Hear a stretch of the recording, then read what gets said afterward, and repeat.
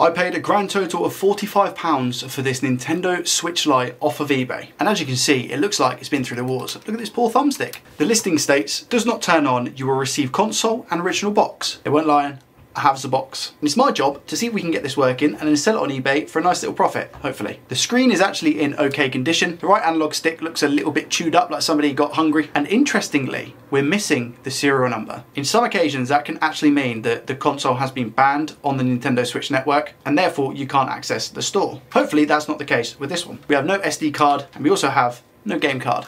Interestingly, the charging port on this doesn't look that great. Usually we'd get our trusty old friend, the ammeter, and we'd insert the ammeter into the charging port to see what reading we're getting, and that will kind of give us an indication as to what's wrong with this switch Lite. Not gonna do that because we know the charging port's bad and I don't wanna short anything out on the inside, making it even worse off than what it currently is. With all that said, let's get inside this switch Lite and see if we can work out what's going on. Cool, this one is a little bit dusty. Look at that. Jeez. Actually, a really good indication that it's not been opened before, hopefully. Another really good indication that this hasn't been opened before is that the felt, which is linked to the heatsink and sits on top of the fan, hasn't been scratched or taken off. Nice. And here we have the board underneath the scope. And to be honest with you, it's actually a fairly clean board. But let's check the charging port because I think that's where the issue is. Okay, so it looks like we've got a couple of pins at the top that I don't know if they've been pushed back. Can you just see how they're quite short? If we look at the other side, that actually looks hunky-dory. All the pins seem to be fine there.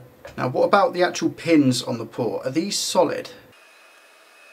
Yeah, they are solid. Because we've now inspected the port a little bit further, what I'm going to do is I am going to use my ammeter to see what happens. So let's plug it in. Because it doesn't actually look that bad. Nothing. Let me turn it around and try this side.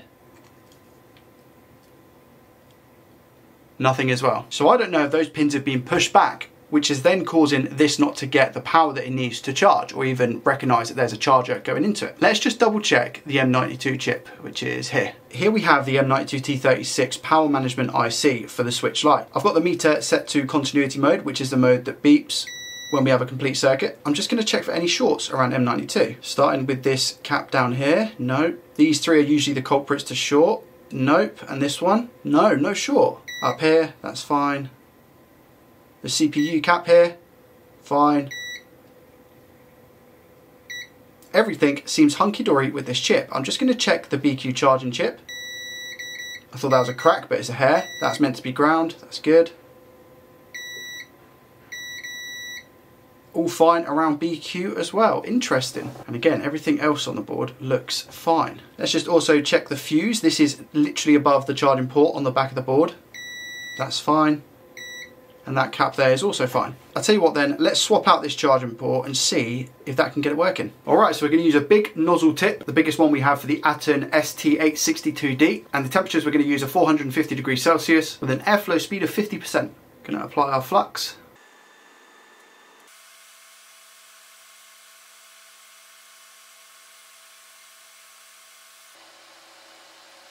Looks like quite a successful port extraction. We don't have any ripped or torn traces. That's really, really nice. We are just going to prep a new port just by putting some flux on. Now typically what I like to do with this is put the iron down to 300 degrees Celsius. That way you don't burn the plastic on the port when you're tinning it with leaded solder. I am however using quite a big tip for this so and that port is tinned nicely. I was doing it at about 450 degrees Celsius on my iron previously and I was burning the plastic when I was tinning the port. No wonder. Now, my new favourite method of doing this is putting some flux on and dropping the new port on. I recently done it in a video and I want to try and perfect it to make my life a little bit easier. So if we just retin the pads with leaded solder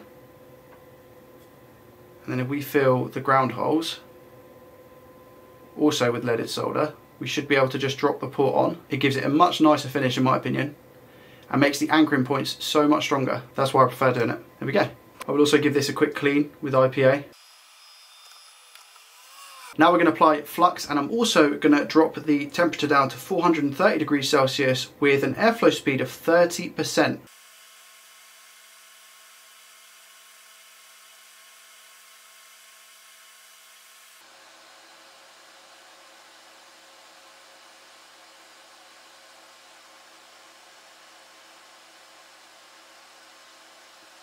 Whilst we're here, let's check these. Solid, solid, solid, solid. Solid, solid, solid, solid, solid. Come on. Aha, this one's loose. Solid. Okay, so we just need to touch up this little one here. So what do we do? We're going to put a tad, tiny bit of flux just there. We've got a really small tip. That's just going to go, wrong one, just there.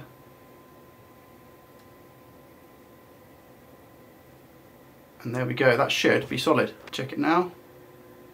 Solid. Just check the one next to it as well. This one, solid as well. And that one, good. Nice. Sometimes you can accidentally hit like one of the other ones and make it loose, but not in this case. We are just gonna add some more to the back here, some more solder that is, because it doesn't look the strongest on the back. Here we go, a lot nicer. Now my favourite part, a decent clean with some IPA, toothbrush and a cotton swab. Let's go. And here we have our port, like the final version of it after a good clean. You can see it slightly tilts down this way a little bit diagonally. That's not going to make a huge difference to be honest, but I don't know, I just kind of noticed it. If we have a look at the port as well, you can see it's completely flat to the board, which is exactly what we wanted. Also, here's the reason why I like doing the drop in. Look at the anchor points. Look how solid these are all the way through. We did have to touch the back ones up a little bit, but again, just completely solid. You can see here as well, it looks a little bit wonky. We've got more port over here than we do on this side. Again, don't think that positioning is massively going to affect the case. Whilst we've got the board out the housing, let's give it a real quick test and see if it works. Okay, wait a minute. We get 5.2 volts at 0.01 amps. I'm pretty sure that's meant to be 15 volts straight off the bat. Let me test the other side and see if we get the same. But we get nothing this side. What about a wiggle? No, nothing. Nothing at all. I don't think that's the charging port. I think that's the M92 T36 chip on the back of the board that we checked for shorts in the first place. Whilst we're here, I'm going to check for shorts again. We've got no shorts at all. It can be common for an M92 to not show any uh, short symptoms, but be faulty. So let's get this off and replace it with another one. Tiny bit of flux to get it off. 450 degrees Celsius at 50%.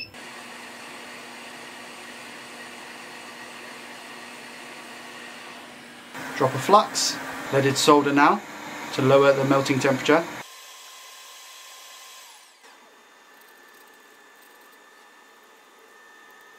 Little blob in the middle as well. Perfect. Tiny bit more flux. Preheat the board a little bit. Place the chip on. Very shaky today. Try and get it in place.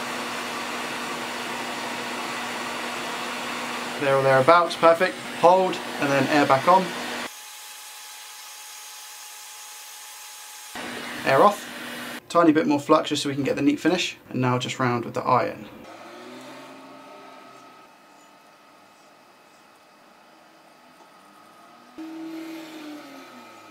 Now for a clean and check our work. Quickly check all the sides. That seems good. That seems good. Good. And good. Now was it the port or was it the M92 T36 chip? Let's have a look. Here we go. Ready? In.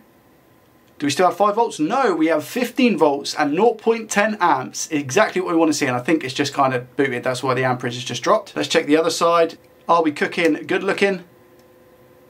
14.8 volts, and do we go up to 0.10? We got up 0.07, I think that is fine, 0.08, 9, 8. Oh, you're just trolling me now. But I think that is generally fine. But it's not confirmed just yet. We're going to quickly swap out the Joy-Cons. This is one of them. And the other one was just buried underneath a board here. Mission complete so far. We just now need to Dremel this back down to the board. And here we have it nice and flat with the board. We just need to get all the metal shards out of it now. That's going to be fun. Toothbrush with some IPA. Just cleaned it out. How does it look now? Yeah, a lot better. Maybe a little bit more of a clean to get those shards out the bottom. You see them? Down here on the left, you've got loads at the bottom. Just another quick clean. And here we have the finished product. Now please don't hate on me because I have the black analog sticks instead of the white ones to go with every single other button. They're the only ones I had. But regardless, it looks fantastic. The screen came out really, really well after giving it a good clean. And the rest of the device, again, I've just given a quick clean and it looks perfect. We have a few scratches on the back because of the age of the console, but we can't really help that. Do we get what we want, which is a charge on both sides? That fits the port very, very nicely. That's good. Yes, the screen works 100%. As you can see from the battery charging symbol, we are drawing 0.11 amps, so 100 milliamps. and 14.8 volts. That is perfect. On the flip side, do we get the same? 0.5, there we go, 100 milliamps and 14.8 volts. And supposedly, yes, there we go, the battery symbol. I've just left my grub marks on the screen.